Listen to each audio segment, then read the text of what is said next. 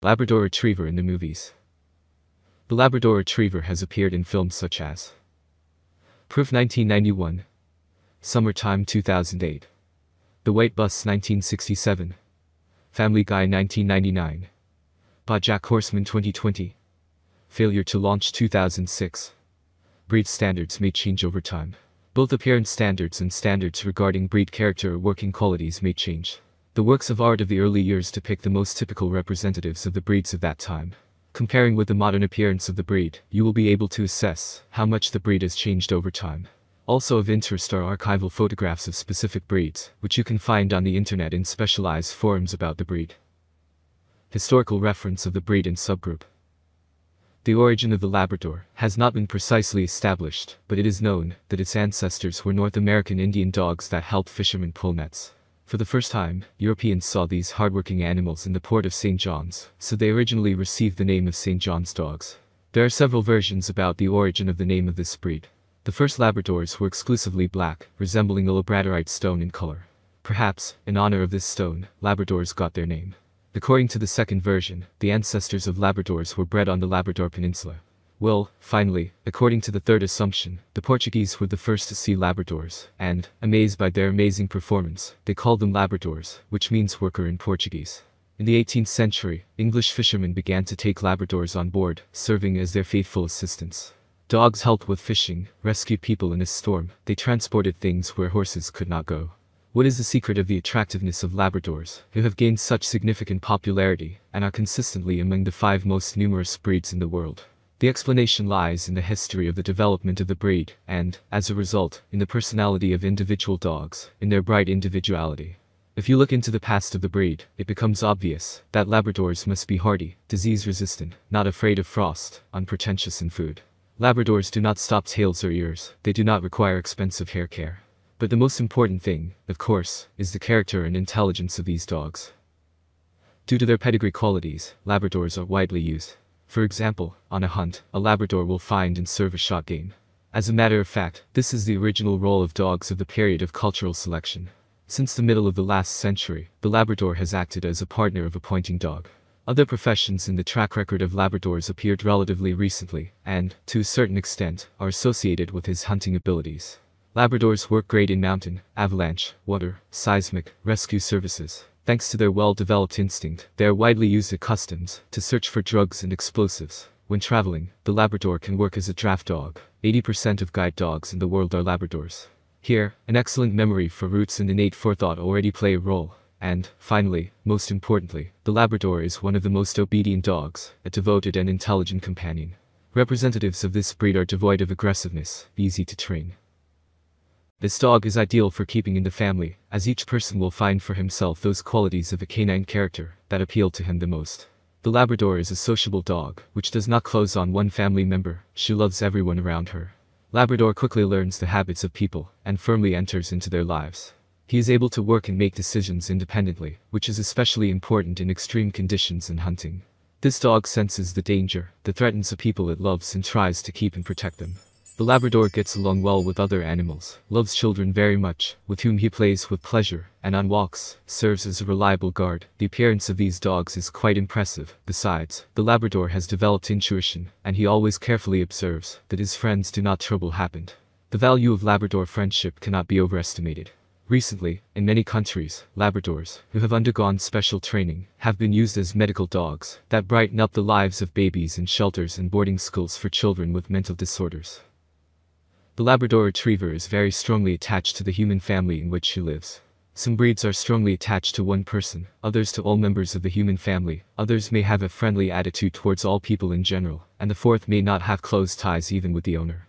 The Labrador Retriever is strongly attached to all members of the human family. They are also very happy with strangers. The attitude of any dog to strangers strongly depends on the breed of the pet, but even more strongly this attitude depends on the upbringing and socialization of a particular individual, while socialization in the early puppyhood of a pet is especially important in this regard. With children, the Labrador Retriever gets along great. However, regardless of the dog's friendly attitude towards children, a dog of any breed should not be left alone with small children.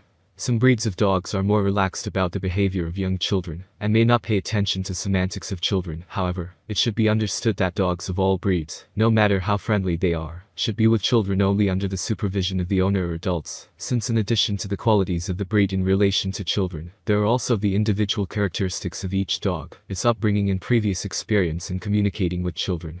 Even these relationships are largely influenced by the behavior of children. With other dogs, the Labrador Retriever also gets along very well, and they get along well with each other, if, of course, other dogs show similar behavior. Different breeds of dogs treat their own kind differently. Some dogs will play and interact in every possible way with dogs they meet or live with. Other breeds may try to dominate or even attack similar four-legged ones. At the same time, the relationship between dogs can be very different from how a dog will react to people. The behavior of a dog in relation to other dogs and people depends, not only on the breed, but also on the socialization of a particular individual. Communication Labrador Retriever with small pets such as hamsters, domestic rats, squirrels, chinchillas and other rodents should be limited. Cats usually get along well, if they live together. The Labrador Retriever is not suitable for those who have a dog for the first time. If you have little experience in keeping dogs, before getting a Labrador Retriever, we advise you to study in detail information about the breed, and, if possible, take specialized courses that will tell you about the methods of socialization and training of puppies. Labrador Retrievers can be kept in an apartment, however, this is not the best option for this breed, due to their excessive activity. In addition, they do not tolerate loneliness, and cannot be left alone for a long time. The quality and quantity of wool allow the Labrador Retriever to comfortably endure slight cold and short-term heat, but very low or high temperatures are no longer safe for the four-legged. Active loads should be avoided in the warm season. Learning and training. All dogs can be trained and trained, but some breeds remember and execute commands faster and more readily than other breeds. Different breeds need a different approach to training and education. Some breeds may appear to be poorly trainable or even stupid, however, in most cases, a dog breed's trainability is due to the stubborn or independent nature of the dog breeder individual.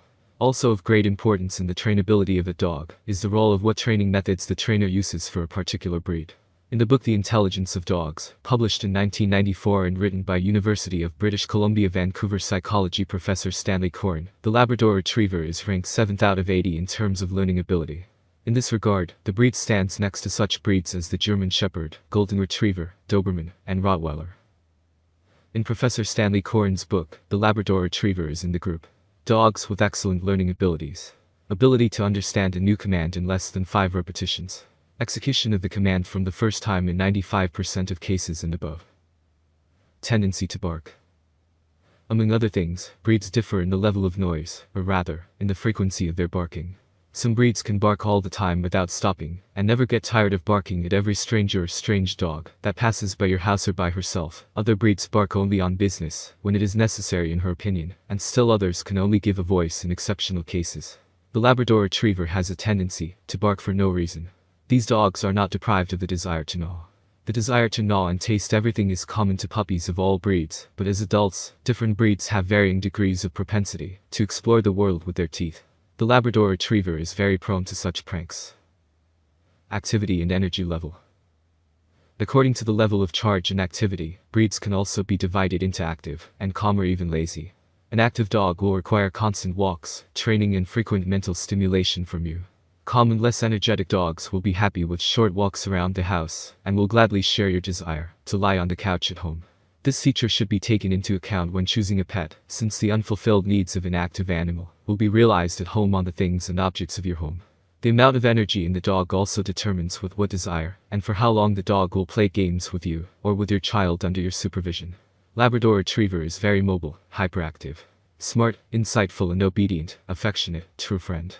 Kind by nature, without a trace of aggression or excessive timidity. The Labrador is a hunting dog that, due to its unique qualities, can be used as a companion, guide, rescuer, and drug searcher. Labradors have a reputation for being a very even-tempered breed and an excellent family dog. Their cheerful boisterousness and lack of fear can sometimes require training to ensure it doesn't get out of control. An out-of-control adult Labrador Retriever can be quite problematic. Labradors mature at about 3 years of age. Before this time, they may have a significant degree of puppy energy, which is often erroneously referred to as hyperactive. Because of their enthusiasm, it is recommended to train your dog on a leash early on. Labradors love to get the ball. In addition, many breeds have an innate desire to chase moving objects and animals. The degree of this desire may vary from breed to breed. If this innate instinct is highly developed in a dog, you need to carefully monitor the pet during a walk and keep it on a leash, since any moving object can provoke the dog to chase, even if it is a car, that can harm the animal. At such moments the dog can disobey the call of the owner and switch all your attention to the moving target. In addition, such breeds pose an additional danger to small domestic animals and birds. However, although the Labrador Retriever has this instinct, it is most often able to cope with it. Passion for vagrancy and love of freedom. Some breeds have a tendency to cover long distances on their fours, for which they were bred, so these dogs, following their instinct, will not miss the opportunity to escape from you and run a couple of kilometers, despite your calls. Sled dogs, hounds and bloodhounds are mainly inclined to such walks. Labrador retrievers generally do not run away from their owners. Tendency to drool. The amount of saliva produced depends on the characteristics of the breed. Some breeds salivate, so much that they can leave marks on the carpet, on the sofa, on the floor and on you. Other breeds also salivate, but this happens in much less quantities. Labrador Retriever does not produce much saliva. But the amount of wool that the Labrador Retriever leaves behind is quite large. The amount of dog hair in your home and on your clothes depends a lot on what breed you choose. Some breeds shed all year round, others only seasonally, others hardly shed. This characteristic of the breed can be important depending on where you plan to keep the pet, whether members of your family are allergic to animal hair, and how important it is to you in general. Dog care. Some breeds may require a lot of grooming and attention due to co-characteristics, muzzle shape, habitat, or the general health of the breed. Labrador retrievers have a tendency to gain weight, if not fed properly. Thick waterproof wool is enough combing and brushing one to two times a week. Labradors love movement, Adult dogs need daily long walks, at least half an hour in the morning and two hours in the evening. Puppies need lots of play and activities. General health of the breed on a 10-point scale. The general health of dogs of this breed and the possibility of the appearance of genetic diseases in them can be assessed on a 10-point scale of 7 points. That is, they are quite healthy dogs with a minimum number of genetically predisposed diseases. Labrador Retriever This is a healthy breed with relatively few major problems. Notable health and wellness issues include hereditary disorders and obesity, most lacking all or part of a gene that regulates appetite. A study by the Royal Veterinary College and a study by the University of Sydney concluded that chocolate Labradors have a shorter life expectancy than other colors of Labradors and are more likely to suffer from certain health problems. This is believed to be due to attempts by breeders to increase their numbers through selective breeding for coat color at the expense of other important health traits. Brown wool is naturally rare compared to yellow and black, and has been in vogue since the 1980s. This created a demand for more of them. Labrador puppies are not usually brought into the home until they are 8 weeks old. The average lifespan of a Labrador retriever is 10 to 12 years.